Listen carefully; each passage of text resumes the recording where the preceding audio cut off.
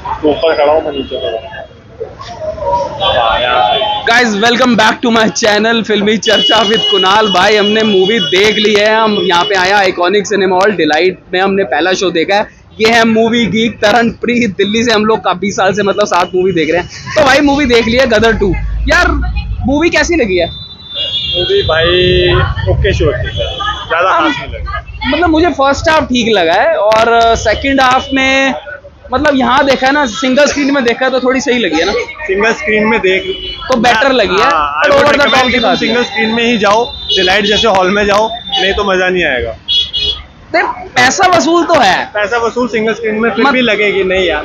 मतलब देखो मैं बताता हूँ जो फ़र्स्ट हाफ़ की स्टोरी तो बड़ी अच्छी बिल्ड हुई थी। जो फ़र्स्ट हाफ़ में स्टोरी करी स्टोरी फ़र्स्ट हाफ़ में भी ऐसा लगेगा कि भाई बहुत जल्दी जल्दी दिखा दी जल्दी तो दिखाया है बट पॉइंट पे आए हैं पॉइंट पे आए हैं अभी फ़र्स्ट हाफ़ तक अपने को ऐसा लग रहा था कि चल हाँ। ठीक है जल्दी जल्दी दिखा रहे हैं तो सेकंड। हाफ़ में स्टोरी बिल्ड होगी और ज़्यादा स्टोरी पे और ज़्यादा अप अप जाएगी हाँ। ठीक है लेकिन हुआ क्या सेकंड sequence ज्यादा- के बाद ओवर द टॉप एक्शंस के अलावा और हाँ। कुछ भी नहीं है हिंदुस्तान जिंदाबाद के अलावा और कुछ भी नहीं मतलब मैं मैं दूसरे शब्दों में बताऊँ जो लोग सुनना चाहते थे ना वो इन्होंने बार बार सुनवाया कि हिंदुस्तान जिंदाबाद हिंदुस्तान जिंदाबाद।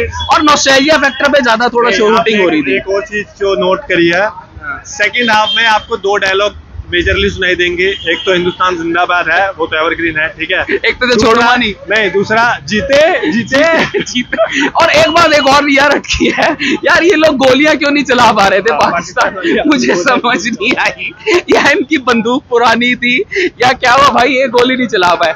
बट एनीवेज आई थिंक मेरे को लग रहा है तरन की पैसा वसूल तो हो जाएगा यार ऐसी बात नहीं है। मतलब हाँ। देखो तू कंपेयर करना कि जो मूवीज़ आई है पूरे साल। तो ऐसी मूवीज़ एक्चुअली इतनी अभी- कौन सी आई है? क्योंकि हमने ओ माय गॉड नहीं देखी है जिसके रिव्यू ओ माय गॉड तो इतनी मासी लेवल की मूवी नहीं है। अच्छी है। उसकी भी रिपोर्ट मतलब गदर से ज़्यादा अगर कंपेयर करें गदर से ज़्यादा मुझे ओएमजी की रिपोर्ट्स है।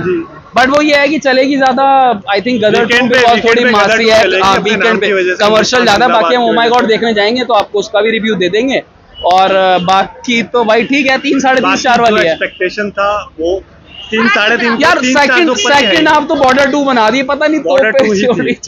चल ठीक है सिंगल स्क्रीन में देख लेना मज़ा आ जाएगा गोलियाँ दे रखी थी इन्होंने वो में तो- चला रहे थे और ये फेंक फेंक के बंदूकें मार रहे थे नहीं बट चलो जोक्स अपार्ट ऐसा भी नहीं है कि आपके पैसे खराब होंगे देखो बात ये है पैसे वेस्ट नहीं होंगे बोरिंग मूवी नहीं है एंजॉय करोगे लोगों के साथ मतलब थिएटर में आने वाली मूवी है ओटीटी वाली तो नहीं है ये ओटीटी में तो बिल्कुल अगर आना भी है तो मूवी यहाँ आओ। सिंगल स्क्रीन में ही मज़ा आएगा रियलिस्टिक तीन स्टार है मूवी के। हाँ, और साढ़े तीन चार चार स्टार ऐसे हॉल में आओगे जहाँ पूरा फुल पैक्ड हो तो मज़ा आ जाएगा ऐसी बात फिर नहीं भी चार ही साढ़े तीन। तक ना हम चार सोच रहे थे फिर हाँ, कि हो सकते हैं। ठीक ठाक है चल साढ़े तीन तक। लेकिन सेकंड हाफ़ में बिल्कुल ही थोड़ा डाउन हो गया। लड़के ने एक्टिंग बढ़िया करी है भाई लड़के ने एक्टिंग लड़की और वो लड़की भी बहुत सुंदर है। और है। सनी पाजी तो खैर चलो स्टाइल उनका वही है।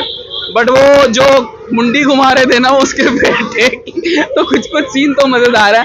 पर ठीक है यार चलो मिलते हैं हम अगली वीडियो में कुछ और अपडेट के साथ। अब हम शायद देखने जाएँगे oh my god to wait करना उसके रिव्यू का।